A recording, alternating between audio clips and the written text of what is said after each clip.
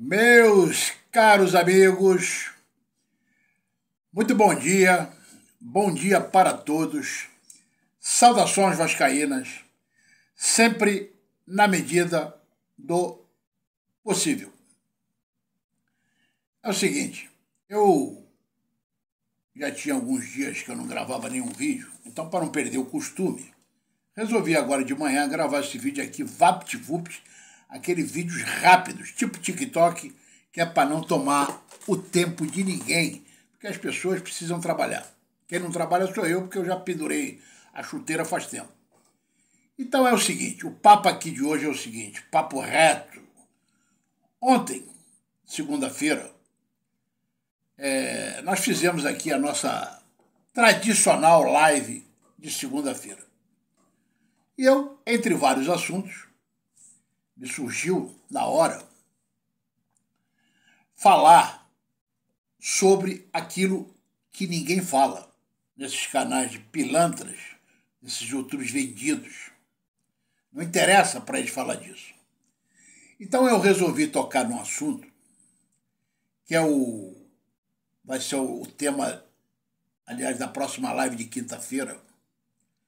O nepotismo que está ocorrendo na gestão do seu Pedrinho Globeleza, o famoso calcinha preta da colina, o famoso palmandado, o famoso fantoche da colina, que esses canais aí, na sua grande maioria, passam pano 24 horas por dia. A pergunta que eu fiz lá é o seguinte: a mamata acabou? Aí agora eu vou fazer igual a botar um ponto de interrogação desse tamanho assim. A mamata acabou? Claro que não. O que mudou, além dessa retirada estratégica da 77 do Vasco, do comando da SAF do Vasco, que ninguém sabe o que está acontecendo, o que, que o senhor Pedrinho está negociando escondido, porque transparência é zero. Ninguém sabe o que, que ele está fazendo. Alguma trapaça que ele está fazendo, que a gente talvez vai descobrir que é coisa pior do que fizeram antes dele. A gente vai saber. Porque a gente não sabe nada, a gente não sabe nada, não pode comentar. Cadê a transparência que ele prometeu? Não tem transparência porra nenhuma. Então o que eu quero me referir é o seguinte.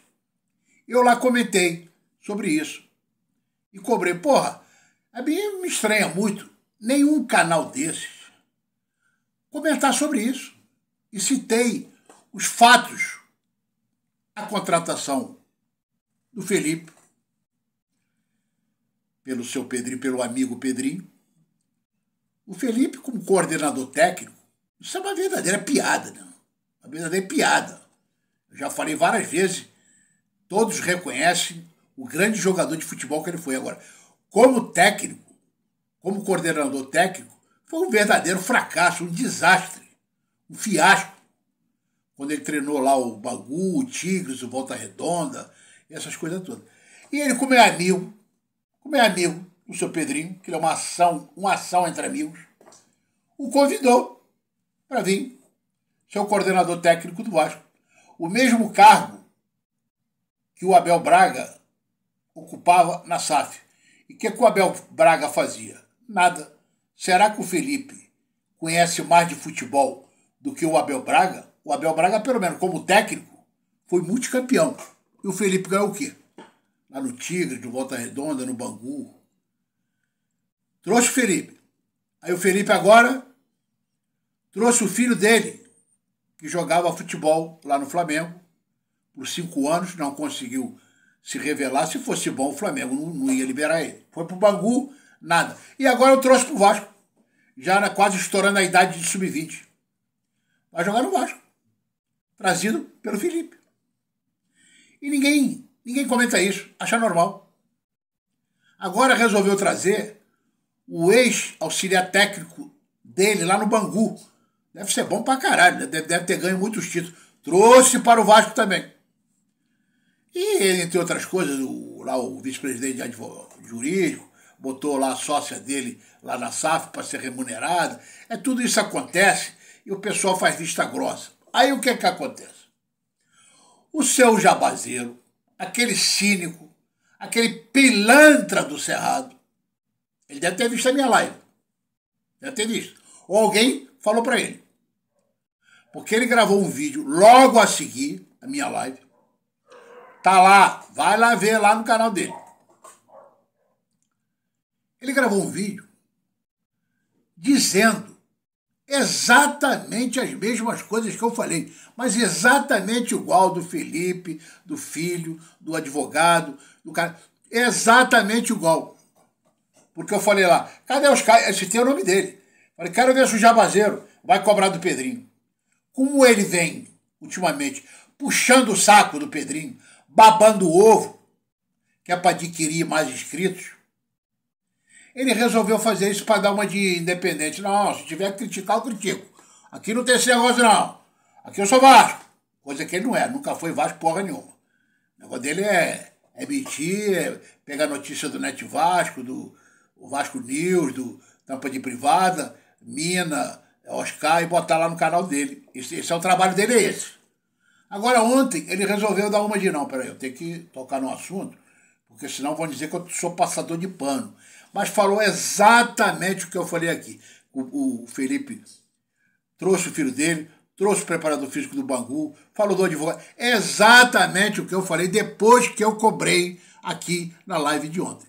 Então, esse sujeito tem alguma credibilidade? Ele botou lá para daqui a um mês, vai dizer, não, eu falei lá, eu cobrei. Eu não cobro, não. Eu não, não tô, eu só torço pelo futebol, mas também não passo pano. Aí ele vai dizer, porque na, na próxima na próximos vídeos dele, a live, o caralho, ele já não vai tocar mais no assunto.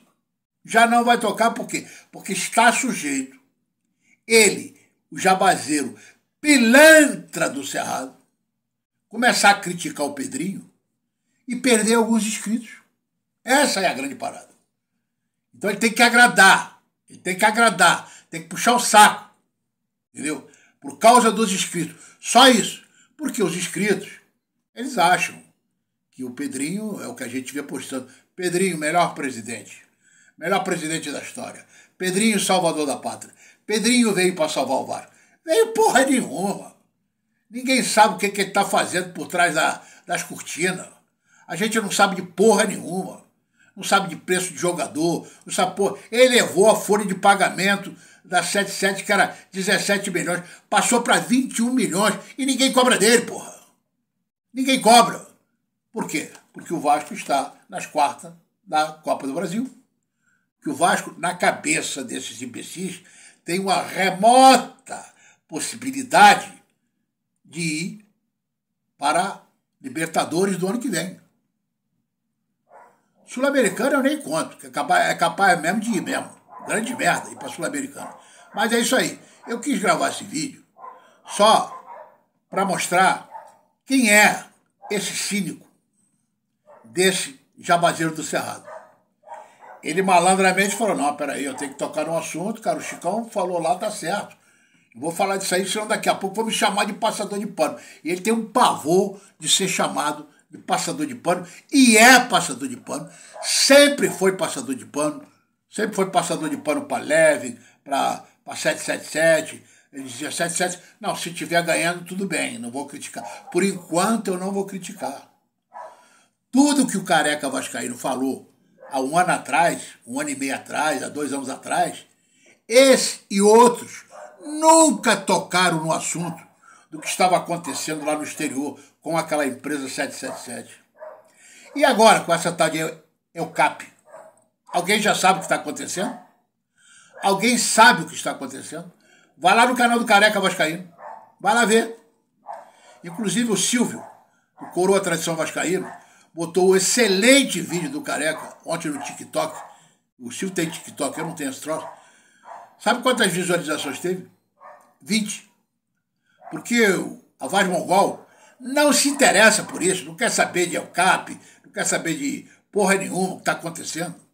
E o Pedrinho está negociando com a ALCAP, que é a mesma 777. Quer dizer, uma grande pilantragem, um grande teatro, uma grande farsa, o Vasco não mudou em nada. E o Vasco, eu sempre falei e vou repetir: o pior está por vir.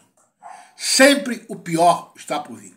Deixa passar aí final do ano, setembro, outubro, novembro, vocês vão ver o que, que vai acontecer com o Vasco. Meus amigos, bom dia para todos, forte abraço.